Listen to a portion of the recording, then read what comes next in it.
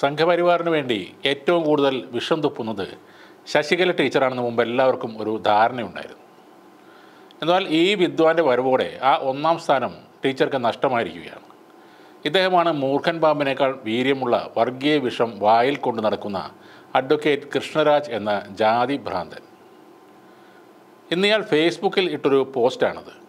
സഖാക്കൾ ദേവസ്വം ഭരിച്ചാൽ ഇതാണ് ഹിന്ദുവിന്റെ അവസ്ഥ. ഏത് അണ്ടനും അടകോടനും ഏത് ക്രിസ്ത്യാനിക്കും മുസ്ലിമിനും ക്ഷേത്രത്തിനുള്ളിൽ കടക്കാം. വേണേൽ ശ്രീകോവിലിനുള്ളിലും യുവമാർ കയറ്റും. തൃപ്പൂണിത്തുറ പൂർണത്രയീശ ക്ഷേത്രത്തിനുള്ളിലെ ഒരു ദൃശ്യം. ക്ഷേത്ര ആചാര ലംഘനം നടത്തിയ ഒരുത്തനെയും വെറുതെ വിടും എന്ന് കരുതേണ്ട. നമുക്ക് നോക്കാം എന്നൊരു ഭീഷണിയോട് കൂടിയാണ് ഇയാൾ ആ പോസ്റ്റ് അവസാനിപ്പിക്കുന്നത്. ഫഹദ് ഫാസിലിന്റെയും നസ്രയുടെയും ഫോട്ടോ കൂടി വെച്ചുകൊണ്ടാണ് ഇയാളിത് പോസ്റ്റ് ചെയ്തിരിക്കുന്നത്.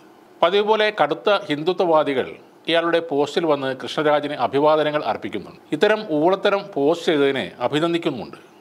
എന്നാൽ സംഘപരിവാർ ചായ്വുള്ള പലരും ഇയാൾക്ക് എതിരായ അഭിപ്രായങ്ങളാണ് അവിടെ രേഖപ്പെടുത്തുന്നത്. അതിലൊരാൾ പറയുന്നത് ഇങ്ങനെയാണ്.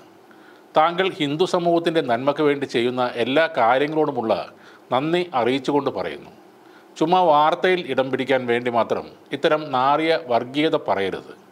മുസ്ലിമും ക്രിസ്ത്യാനിയും എല്ലാം അമ്പലത്തിലേക്ക് ക്ഷേത്രമര്യാദ പാലിച്ചു വരാനാണ് ഹിന്ദുക്കൾ പറയേണ്ടത്. അല്ലാതെ എല്ലാവരെയും ക്ഷേത്രത്തിൽ നിന്ന് ആട്ടിയോടിക്കൽ ആവരുത് ലക്ഷ്യം. ഈ വാദം ഒന്നുകൂടി നീട്ടി പറഞ്ഞാൽ പറയനും പുലയനും അമ്പലത്തിൽ കയറണ്ട എന്നും വായിക്കാം. താങ്കൾക്ക് സമാജത്തോടുള്ള കൂറ് ശ്ലാഘനീയമാണ്. പക്ഷേ വെറുതെ സ്വന്തം കുഴി തോണ്ടരുത്. മറ്റൊരാളുടെ കമന്റ് നോക്കാം.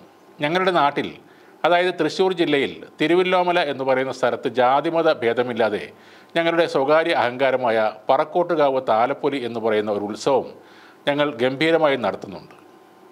ഇങ്ങനെ ഗംഭീരമായി നടത്തുന്ന ഉത്സവത്തിൽ മുസ്ലിമിന്റെ കയ്യിൽ നിന്നും ക്രിസ്ത്യാനിയുടെ കയ്യിൽ നിന്നുമൊക്കെ പിരിവ് നടത്തിയിട്ടാണ് ഞങ്ങളിത് കൊണ്ടാടുന്നത്. കേരളത്തിലെ എല്ലാ ഉത്സവങ്ങളുടെയും സ്ഥിതി ഇതുതന്നെയാണ് ഞങ്ങളുടെ താലപ്പൊലി കമ്മിറ്റിയിൽ ക്രിസ്ത്യനുണ്ട് മുസ്ലിമുണ്ട് ഹിന്ദു എന്ന് നിങ്ങൾ പറയുന്ന എല്ലാ വിഭാഗം ജനങ്ങളെയും ഉൾക്കൊള്ളിച്ചുകൊണ്ടാണ് ഈ ഉത്സവം ഞങ്ങളിവിടെ നടത്തുന്നത്.